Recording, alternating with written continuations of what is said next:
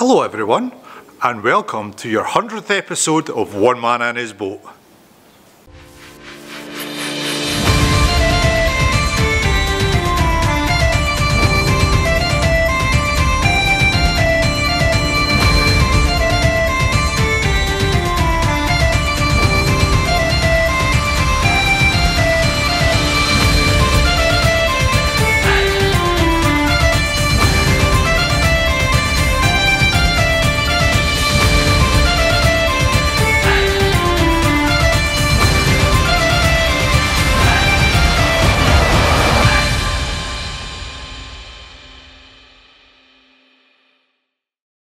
Hello everyone and a very warm welcome indeed to your 100th episode of One Man and His Boat. Thank you so much for sticking with us if you stuck with us from the beginning and for anybody new to the channel you're more than welcome to join us.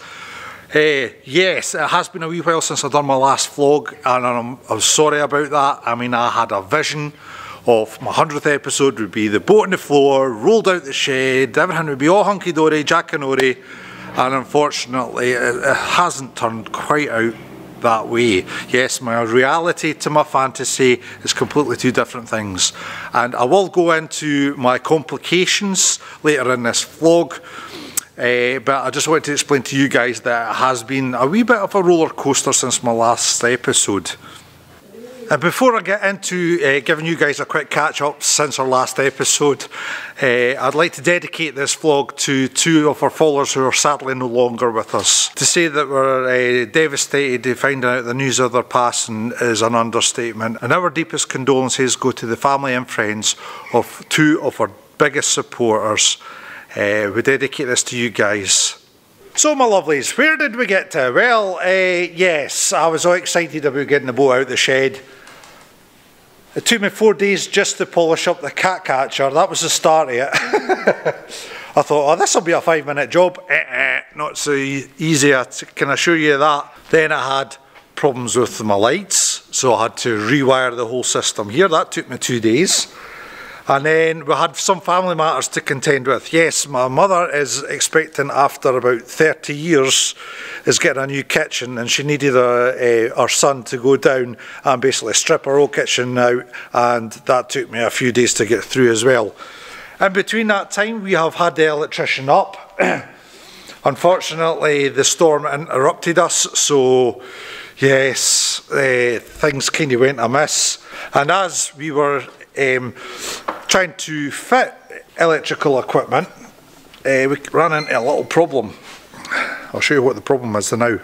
So ladies and gentlemen, we've got all these dials wired up, we've got our fuel, that works perfectly, we've got our exhaust alarm, that works perfectly, and the man overboard system doesn't work perfectly.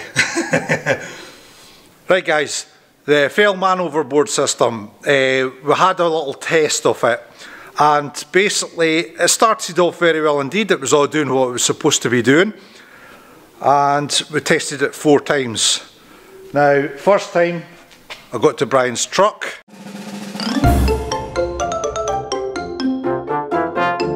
Second time, I was to the sign at the back of Brian's truck.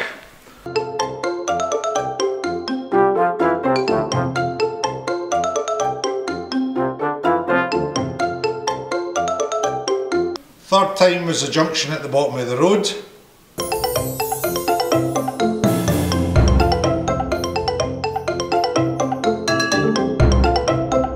And the fourth time was halfway between the junction and the house.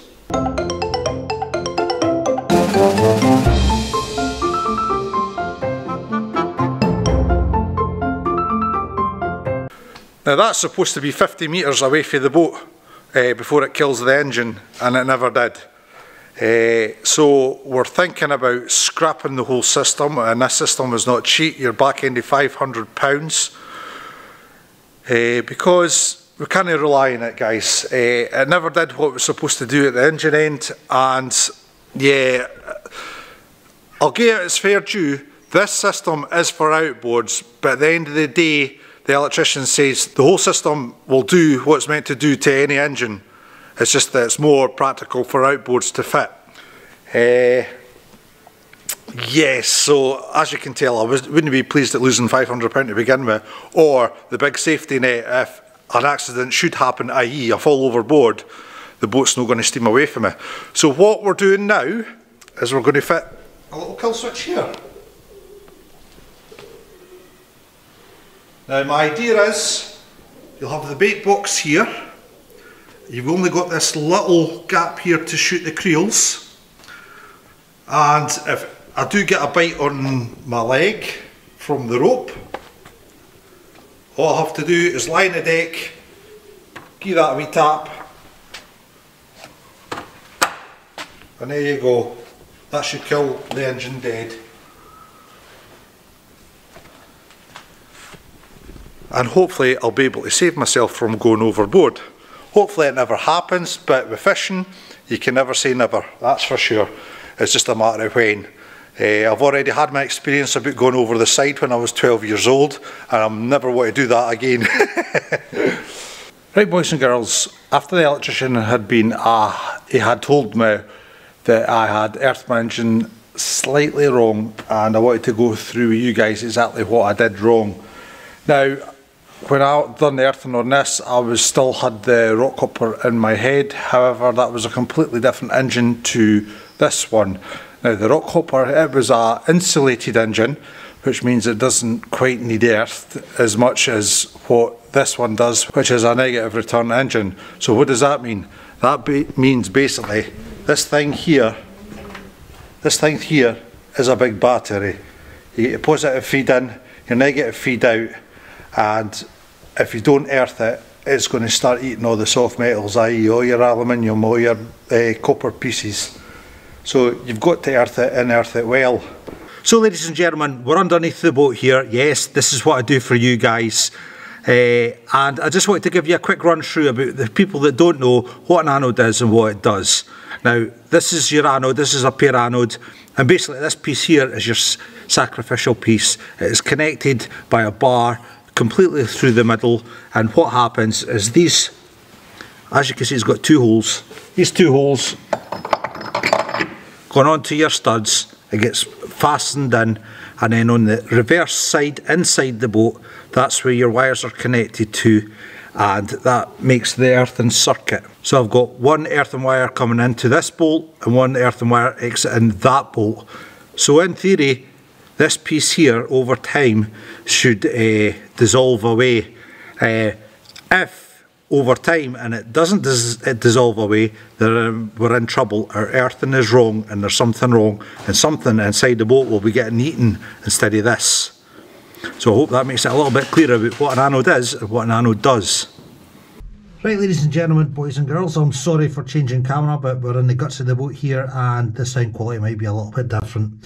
Now when I told you to earth in a previous vlog, I told you all to earth at one point. That was completely wrong. That's for insulated engines only. For negative returns like ours, we have to connect both sides. That way, when you put the anode on, these two studs are connected. Now, when I had done the wiring up, I was lucky because all I had extra length in my earthen wire and all I had to do was transfer one wire from here to over there.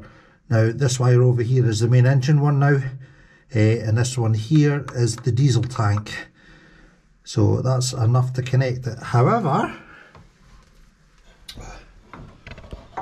however, what I didn't know was, is your oil cooler.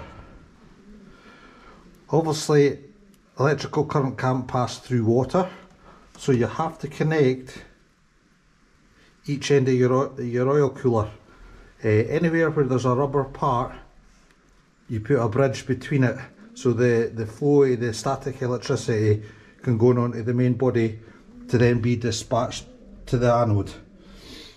And another wee top tip guys, don't just trust one connection. This is my gearbox end. I don't care if you can see that. Let's go down here. That's my gearbox earthing. If that fails, i.e. by poor connection or it gets loose over time with vibration. What's to stop the, the current from building up? Nothing. So I put another a secondary wire in to the main anode um, just on the lifting block there the lifting lug. So, oh, yeah. So all we've got to do now is basically, open blocking out all the light. Here's a minute. Oh, obviously, this is your this is your water pump. This is your intake. I've got this earthed, but there's nothing earthing in between this and this. And obviously, moving fluid is going to build up static. So I need to do something from here to here because this is a rubber part. There's a rubber connection as well. So we could we could actually earth that to there and then that to there and then that would give you a full loop. I think that's a better solution. So guys, another wee top tip. Yes, I'm full of them today. Uh, I just want to give you a quick run through on what we're going to do today. If you're connecting this to this, you have to connect it onto bare metal. You can't have any paint on. If you're using, especially if you're using one of these, um, what you're wanting, I don't know if you can see in there, sorry for the camera work, it's basically, oh, I don't,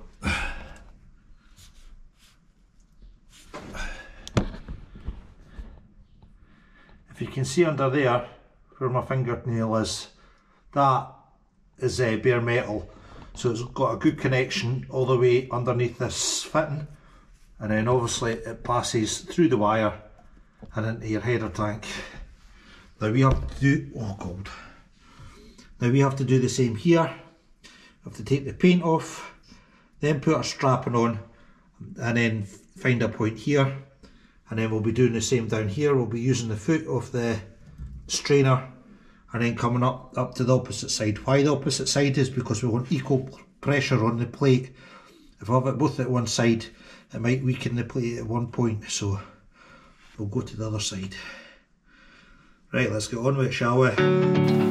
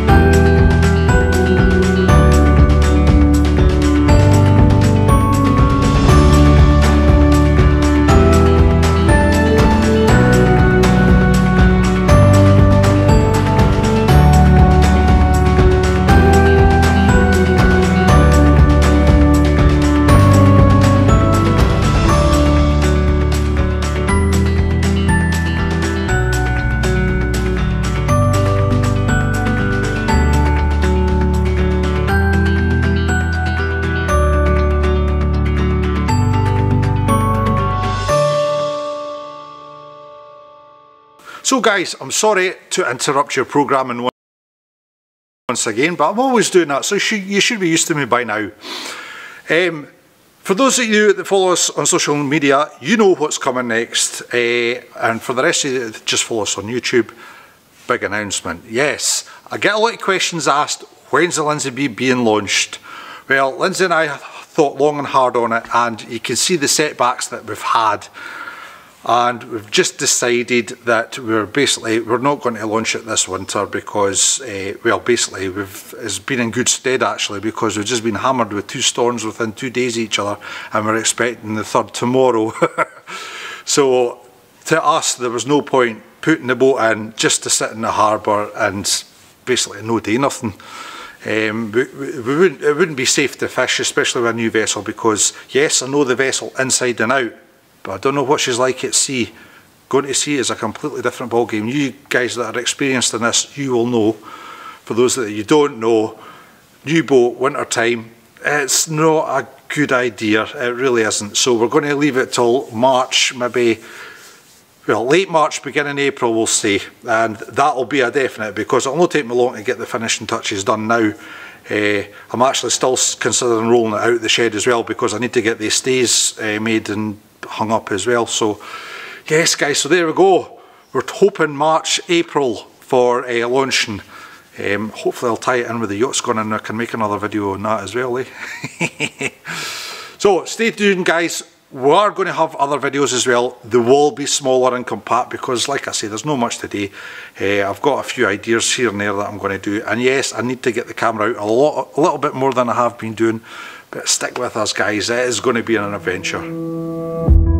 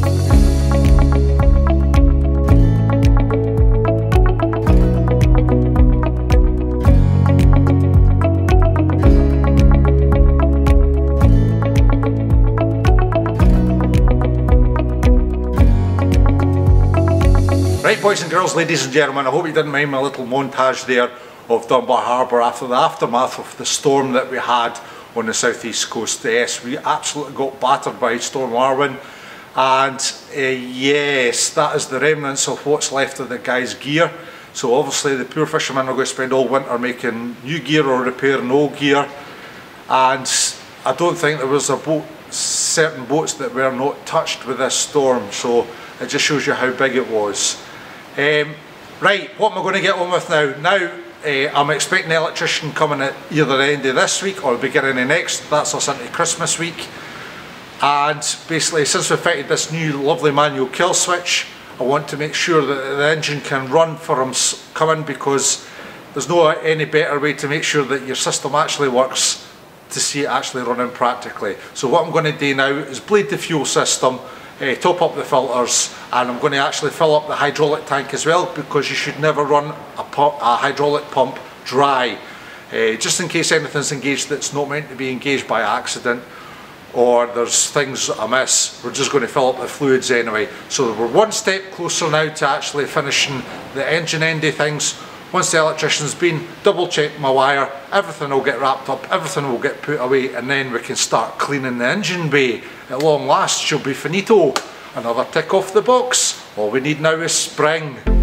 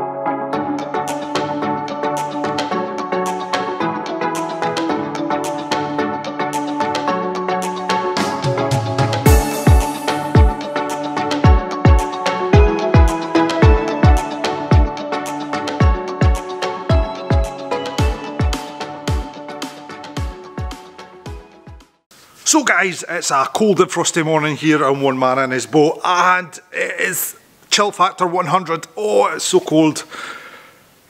However, I've, uh, well, I've not had any news, but I've got news for you guys. It doesn't look like the electrician's coming this side of Christmas. So I'm now bored. I've got nothing to film. I've got nothing to do.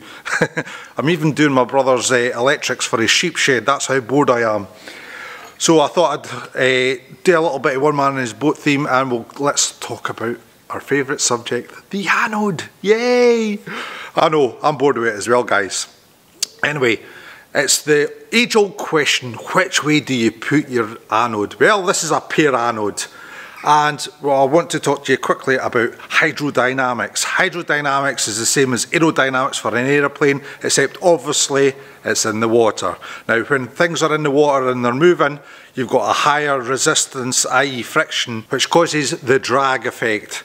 Now, I've seen a lot of gentlemen, when they're putting their anodes on, put their anodes on this way. Now, I've been told for guys years year in advance than I, and well experienced, not just fishermen, but boat builders as well, that you shouldn't put your anodes this way because this is obviously with the shape of the pear, this is going to create the most resistance. So we need to turn it that way, smallest end first, fattest end at the back, because uh, nine times out of ten your boat is going forward. So this is why you have your anode facing with the smallest end at the front and it will create the least friction. There you go, eh? You probably all knew that anyway. So what I want to do now is I want to show you guys exactly what anodes we're putting on the Lynsey B and why we're putting them on. Right guys, these are the anodes that we're going to be putting on the Lynsey B. I've got one for the mechanical side, one for the electrical side, two for the skeg and two for the rudder.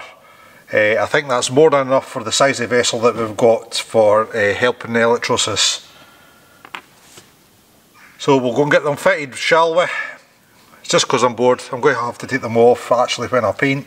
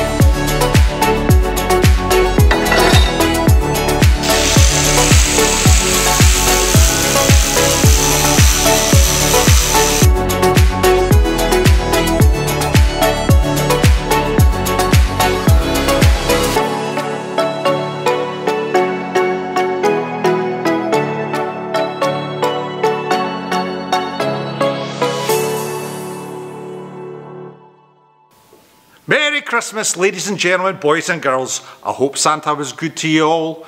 Um, that's the end of your vlog, and unfortunately, that's your last vlog for 2021. Yes, we've decided we're going to have a good break and basically recover from what a difficult year it's been. Uh, as you all know, we've had the tradesmen uh, kept us back, uh, oh, you name it, it's done it. But we'll look on the brighter side of life. Next year's another year, a fresh start, and hopefully at the start of the year, we'll get this beauty out the shed. So you're going to have to stay tuned for it, guys. Have a good Christmas, have a prosperous New Year's, and from our families to yours, all the very best.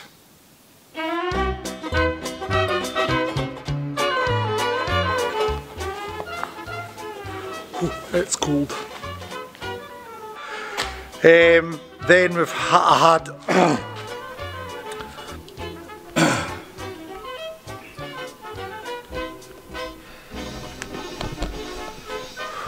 Sit in focus. How come I always get a frog in my throat when I'm talking?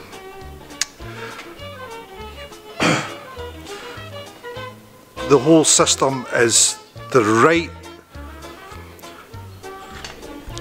Now this is meant to be 50 metres. Hold on, I better make sure you're in focus. Now we're fine. Right boys and girls, um, basically after, which is a negative. Now,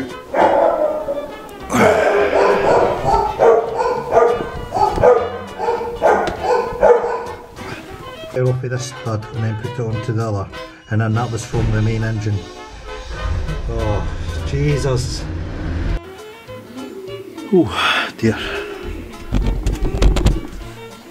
Oh. oh. You've no idea what I do for you folks. I tell you.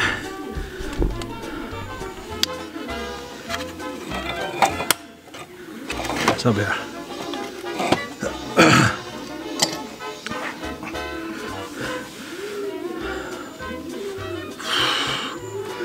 Right, ladies and gentlemen, there's a frog again. Right, guys. Right, ladies and gentlemen, we're underneath the boat here, and I just wanted to give those of you that don't know a run through about what an anode and what it does. Now, this is your pear anode. Um, obviously, it's got the, the brand name on it. Is it upside down? It is upside down. I'll try that again. Take two.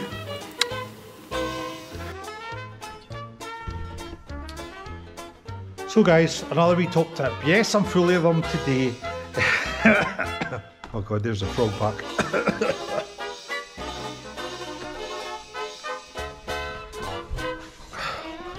Less talking, more working bars. But that's what YouTube's all about, it's more work, uh, more blethering. Plus you're at that stage, son. Mm -hmm. Sorry, I'm twittering on again. Right, oh. Yeah. Right, boys and girls, ladies and...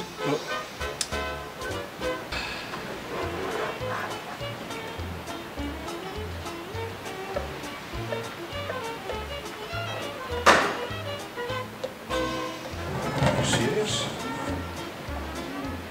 Ha! I know what it is. Uh, Bunny, bunny, my head hurt. Uh, get the cap off.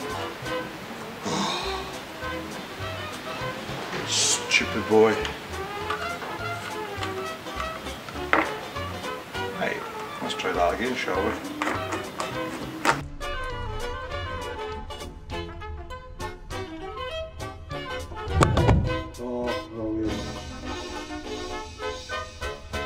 Which causes the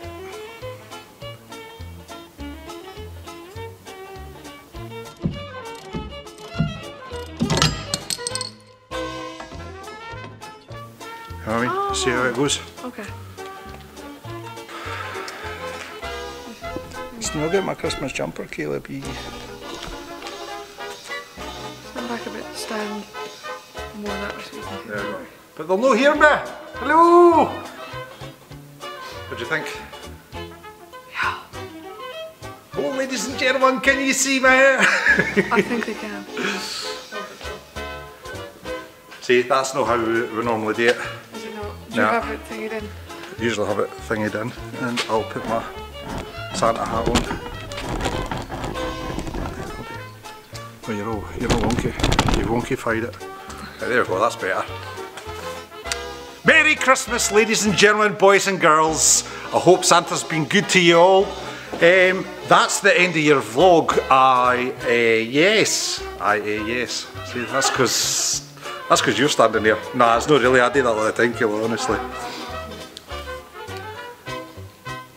All the very best. Have a good Christmas. Have a...